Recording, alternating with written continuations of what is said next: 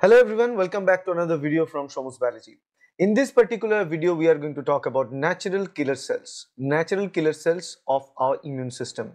So we'll be talking about the origin of natural killer cells, natural killer cell structure, location of action, function of natural killer cell and mechanism of action of NK cells in our immune system, what roles that they play in our immune system. So let's start with the first topic that is the origin of natural killer cell. The natural killer cells are derived in our bone marrow.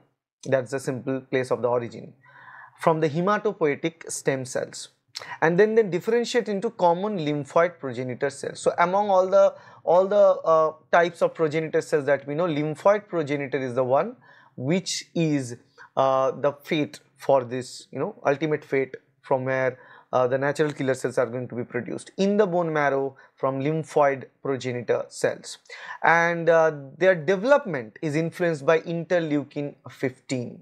There are multiple cytokines that they influence the development of different kinds of cells in our immune system but interleukin 15 actually triggers and influence the growth and development of uh, the natural killer cells along with some of the transcription factors uh, which can be easily recognized with the transcriptome analysis. Now next is the structure. Here is an image showing you the structure of natural killer cell. Now simply if you look at the structure it has multiple uh, receptors on its surface, multiple cluster of differentiation, cluster of designation you say CDs, CD markers on their surface. So they are very large uh, granular lymphocytes. So the lymphocytes are of two different types granular and agranular means one with granules inside that are granular and the one without the granules that is agranular and uh, these are from the granular uh, lymphocyte part and they contain cytotoxic granules in them. The granules that they have they have chemical factors in them and they are termed as perforins and granzymes. Perforins selectively creates pores in the membrane of bacteria and other pathogen and granzymes uh, is going to destroy the proteins inside the uh, organism. The surface markers that we see is CD56 which you can see here CD56 mar marker which is uh, which is basically neural cell adhesion molecule. So with the help of CD56 marker this natural killer cell can interact and adhere to neural cells nerve cells of our body.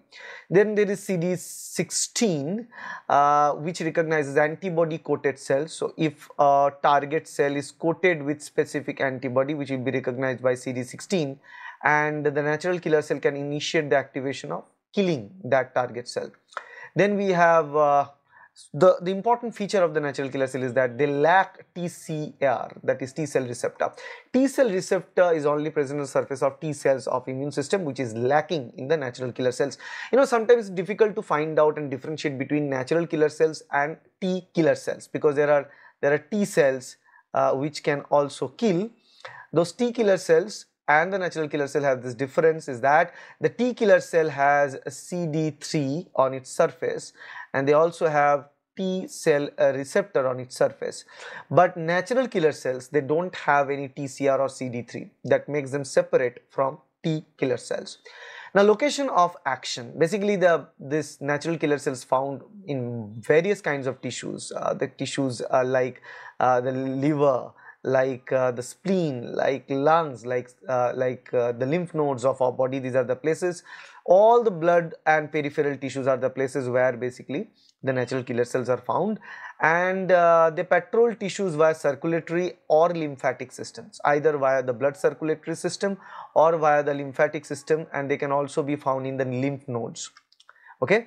And they target infected cells stressed cells or tumorigenic cells. Any category of cells. Whether a cell is infected by virus or bacteria or any kind of pathogen. If a cell is under stress if a cell is tumorigenic which can get uh, into a formation of tumor and cancer they target all category of these cells and the natural killer cells job is to basically kill them they don't have anything to do, they'll just shoot them at sight. That's what their job is. So the function of natural killer cell here is listed cytotoxic activities uh, where we it can kill the virus infected cells, tumor cells and stressed out cells, all categories of cells. That is a cytotoxicity part of natural killer cell. We have immune regulation part and in the immune regulation part they release uh, interferon gamma which helps in the modification of T cells into an activated form of T cell. T cell requires interferon gamma to get activated. So it activates macrophages and also activates T cells uh, that support the adaptive immunity of our body. Then antibody dependent cell mediated cytotoxicity or ADCC. Now full form antibody dependent cell mediated cytotoxicity ADCC. ADCC what it is basically in ADCC the CD16 that is present in the surface of the natural killer cell recognizes antibody coated cells. So any cell which is coated with antibody is something like icing on the top of the cake. When you see the icing, it is more delicious. So if a cell is uh, targeted with antibody, it's coated with antibody, it is easy to engulf that, okay? And CD16 recognize those antibody coated cells and they engulf it, they kill it, they destroy it. That's the job and that is known as antibody dependent cell mediated cytotoxicity which is a part of it. So what is the mechanism of recognition here? You can see the mechanism of recognition is a balances of activating and inhibitory receptors. So there are set of receptors. Inhibitory receptors are out there in the surface of the natural killer cells that is KIR, KIR and NKG2A. These are the two inhibitory receptors on the surface. Uh, if they are present, uh, the natural killer cells is inactive. But uh, they detect the MHC class 1 on the healthy cells. That is very important because natural killer cells job is to find out cells which are infected, which are stressed out to kill them, right? And also a tumorigenic cell to kill them.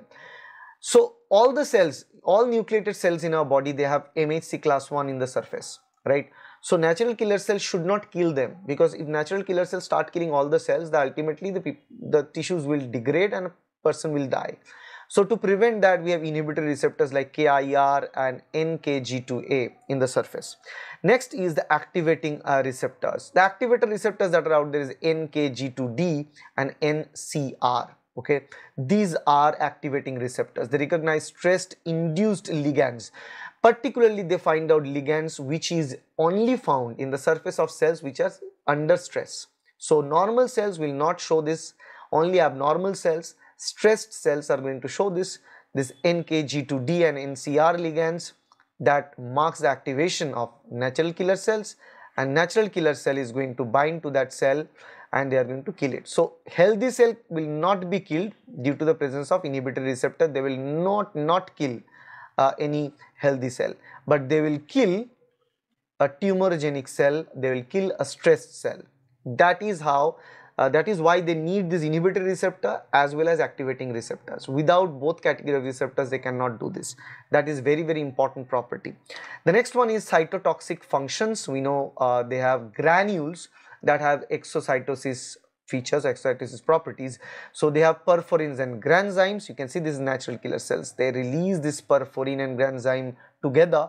Perforin creates pore in the cell surface, in the target cell surface and granzymes gets inside and degrade the important proteins in, in, in, this, in the cell as a result and also it triggers an apoptosis machinery that ultimately causes the death of this target cell. Uh, and they have death receptor pathway. There are specific ligands like a Fas ligand on the surface of some target cell. When there is Fas ligand in the target cell or there are uh, this receptor called TRAIL trail receptors okay uh, so these are so they bind to the death receptors the ligand that is Fas ligand or tray it is also ligand trai ligand so both this category of ligand binds to the receptor known as Fas receptor uh, or DR4 or DR5. DR4, DR5 are known as the uh, these Fas receptors and they bind to these receptors and trigger the mechanism of apoptosis. Okay. So now they have antibody mediated cell uh, mediated cytotoxicity, antibody dependent cell mediated cytotoxicity known as ADCC and in this case antibodies bind to the antigens or let us say the bacteria is the antigen the bigger part. So antibody these are antibody binding to the different surface of the pathogen that is bacteria in this case.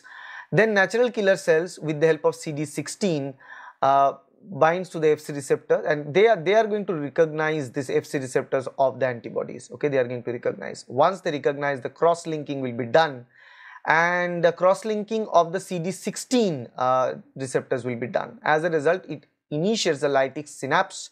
As a result of this lytic synapse release of certain chemical factors and ultimately cause the cell to die via the mechanism of death known as apoptosis. That is the overall process of antibody dependent cell mediated cytotoxicity or ADCC which is triggered by remember CD16 cross-linking on the surface of natural killer cells okay? And the cytokine production is another role of natural killer cells. You can see the natural killer cell produce interferon gamma. This interferon gamma is going to activate macrophage and there is a relationship an interplay of signaling between natural killer cells and macrophage.